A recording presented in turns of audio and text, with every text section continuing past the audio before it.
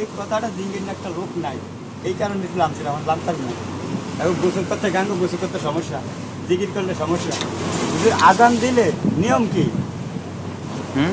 নিয়ম কি? হুজুর আজানের শব্দটা হইলে? আজানের জবাব দেওয়া এবং নামাজের জন্য প্রস্তুতি নেওয়া। নামাজের জন্য হুজুর হ্যাঁ। প্রস্তাবে ধরে না হুজুর? অবশ্যই। একটু আডাউডি করলে আজানটা দিলে একটু পায়খানা প্রস্তাব করিয়া মসজিদে যাওয়া যায় নামাজের দিকটা? অবশ্যই। শরীরটা কত ভালো থাকে পাক থাকে। আর পায়খানা লিয়ে হুজুর মুতলে হইরা দুধ দেয়। বহুত আছে আপনার বাড়ি কোন জায়গায় আমাকে জন্মস্থান গোবিন্দা গোবিন্দা তো এখন আপনি যাইতেছেন কই বাড়ি মানে জন্মস্থান গোবিন্দা বাকি সংগ্রামের বছর এরপর চলে আসছেন কোথায় বেড়াচাক্কি নাকি ইব্রাহিমপুর। গুচ্চুগ্রাম তার মানে ইব্রাহিমপুর আপনি ফেরি ফেরি থেকে নাইমা আবার আসতে হবে গুদারা ভাই তো এনে আমি আর যদি গুদারে না পান তাহলে কি করবেন কইলে পার করে দেব হ্যাঁ গুদারাতে ভাড়া রাখে কত টাকা এই নদী পার করতে নদী না হ্যাঁ পাঁচ টাকা। মাত্র পাঁচ টাকা? পাঁচ টাকা। ও। আমি বাইবেরা তো সব আছে না বই সব আছে না। আপনি কি কাজ করেন? না স্যার আমি কিছু কাজ করি না। কোনো কাজ করেন না? কি কাম ছেলে মেয়ে কজন আপনার? দুই ছেলে এক মেয়ে। দুই ছেলে এক মেয়ে। ছেলেরা বড় না কিছু মেয়ে বড়? মেয়ে মেয়ে বড়। ছেলেরা কাজ কাম করে না? আছে। আছে হুজুর নসিব মন্দ। কি জন্য? নসিব বন্ধ কি জন্য কি ছেলেরা কোনো দুইটা বিয়ে একটা বিয়ে করাতে পারছি না তার ইচ্ছা মতন তাই করছে। তা নিজের ইচ্ছা মতো করছে।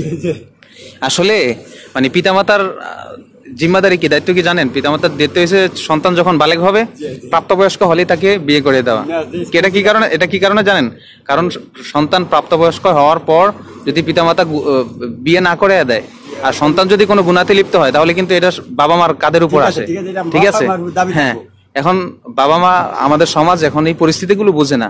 তারা মনে করে যে বাপ মা যখন বিয়ে করাইবো বা যখন ছেলে টাকা পয়সা কামায় একটা নিজের পায়ে দাঁড়াইবো বলে একটা কথা আছে না? যখন নিজের পায়ে দাঁড়ায় তখন বিয়ে দিব।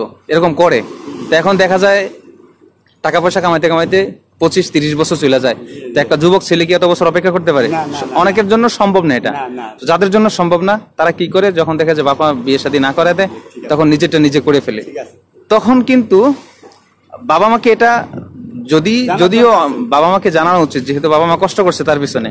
মা অনেক কষ্ট করছে তার পিছনে। একটু কথা আছে আমার একটু দিয়েন শুধু আচ্ছা বলেন আপনি কি বলবেন বলেন। আমার খুদ্দ অন্তালি কোনো এরকম বিয়ার উপযুক্ত হয়েছে না। কয় বছর আপনার ছেলের বয়স ভিতরে বয়স বেশি আছে কিন্তু উপযুক্ত হয়েছে না। উপযুক্ত হয় না না। কিন্তু রে আমি কইছি মানুষ দিয়ে জিজ্ঞাসা করছি। মাত্র একটু সাধারণ একটু কাজ সাধারণ কাজটা হিকিয়া মানে এনে আমাকে একটা পারণ দিছিল। মোরগের পারণ তো অনেক কাতি মাস ইয়া কাতি মাস ঈদে বরকা ঈদা। হুম। বরকা ঈদা অনেক ইয়া এই মানুষ নাই লোক নাই। অনেক তারে তার নাম হইল গিয়া সোয়াগ সোয়াগ মিয়া তো অনেক ফারনটার ভিতরে আর কোনো লোক নাই। এই করল কি এই ফারন আরে কইলো ভাই আমরা ছেলেরা আমারে হুম। যে আমি কি অ- অবক্ষায় আছি? যতক্ষণে আজকের দিন নিয়ে আপনি দেখেন কাজ পারে কিনা। কাজ পারে কিনা নিয়ে দেখেন কাজ পারলে আপনি বেতন ফিরাইবেন বেতন ফিরিয়ে আমার কাছে বলবেন। তখন অনেক লেগে গেছে। এই করবেন ঈদের দিনে। ঈদের দিনে তাই আবার আধার ভাগ আনব এটা থুইয়া এই আধারের লিগে দেবো আধার এটা কি হুজুর এটা তো ঠিক হয়ে না কি? জিনিসটা আপনি বলেন আপনি বলেন। আচ্ছা, আমি এটা কি জন্য করতে জানেন? এই যে আপনি যে বললেন যে আপনার ছেলে একটাও মানে বদনসিব বললেন আপনি। কি জন্য? দুইটা বিয়া মানে হ্যাঁ, মানে দোনো একটা বিয়েও আপনি নিজে করাইতে পারেন এটাই আপনার কাছে খারাপ লাগছে। এটা আমি মানে এই ভিডিওটা ধারণ করতেছি এই জন্য এই ভিডিওটা আপনার হাজার হাজার মানুষ দেখবে। ঠিক আচ্ছা, আছে আপনি আপনি- যে শুনেন আপনি যে বললেন যে আপনার ছেলে আপনাকে না বলে বিয়ে করছে অবশ্যই সে এটা খারাপ করছে। পিতামাতা হিসাবে। আপনাদেরকে জানানো দরকার ছিল। এখন আপনাদেরকে যেহেতু জানেন হ্যাঁ। ভাগ্যবেলা এই দেও একমার এক ছেলে হ্যাঁ। এই যে করছে এটা নাতিন লিয়া একমার এক ছেলে। যাই- হোক ভালো। তো এখন আপনি কি বলতে চান যে এরকম আপনার সন্তানের মতো আর অনেক সন্তান আছে তারাও কি আপনি চান যে এইভাবে না বলে বিয়ে করুক নাকি পিতামাতার থেকে বলে তারপরে বিয়ে করুক? হুজুর আমি আপনি একটা চিন্তা করে দেখেন আপনি হ্যাঁ। ভাবি থাকলে আপনি ভাবির কাছে আলাপ করতে পারেন। না না শুনুন শুনুন। ইসলামী শরিয়া অনুযায়ী ভাবিদের সাথে দেখা দেওয়া তো জায়েজ নাই। হ্যাঁ, ঠিক আছে বুঝছেন? এখন হয়তো আপনি সামাজিক দৃষ্টিকোণ থেকে বলতেছেন তারপরে এগুলো করা উচিত না কারণ ভাবির সাথে ব্যবহারের দেখা দেওয়া কোনো জায়েজই নেই বন্ধু বান্ধব আরও বুঝছি একজন লোকের কাছে কথা যায় না বললে তো আমি বুঝতাম হ্যাঁ, হ্যাঁ, অবশ্যই। আমি কইছি তার মারি দিয়ে আমি জিজ্ঞাসা করছি হ্যাঁ, হ্যাঁ। যদি ছেলের যদি বিয়া করানোর হক হয় আমি ইনশাল্লাহ করে এলাম। এই যে এখন এই যে বিয়েটা করল ওদের আমি একটা বছর সুযোগ দিয়েছি আমি মই গাদো গেছিলাম গিয়া।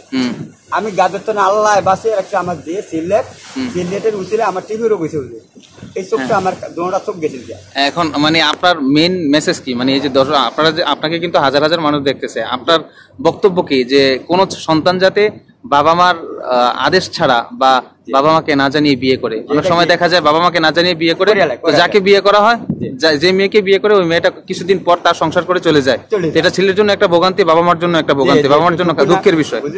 হ্যাঁ হ্যাঁ অবশ্যই দুঃখ। এই জন্য মানে আপনার মেসেজ যে কোনো সন্তান যাতে বাবা মাকে। না জানিয়ে বিয়ে করে। তো দর্শক আপনারা দেখছেন যে এই মুরব্বীর থেকে আমি যে সাক্ষাৎকারটি নিলাম উনি উনি বলছেন ওনার উভয় ছেলে নাকি ওনাদেরকে না জানিয়ে বিয়ে করেছে। তো। ওনাদের মনে ওনাদের মনের মধ্যে কষ্ট হচ্ছে যে এত কষ্ট করে পারলাম লালন পালন করলাম তো আমাদেরকে না জানিয়ে বিয়ে করছে অবশ্যই খারাপ করছে এটা।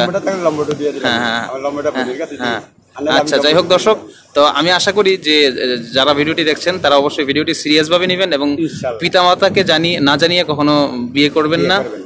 আর যদি আপনার কোনো পছন্দ থেকে থাকে তাহলে অবশ্যই। বাবা মাকে জানাবেন বাবা মা সেটা ভালো হলে সেটা আপনার জন্য মঙ্গল হলে সেটা অবশ্যই আপনার বাবা মা করবেন তো দর্শক, এই পর্যন্তই। আশা করি ভালো লেগেছে। ভালো লাগলে ভিডিওটি শেয়ার করে ছড়িয়ে দেবেন। আসসালামু আলাইকুম রহমতুল্লাহ।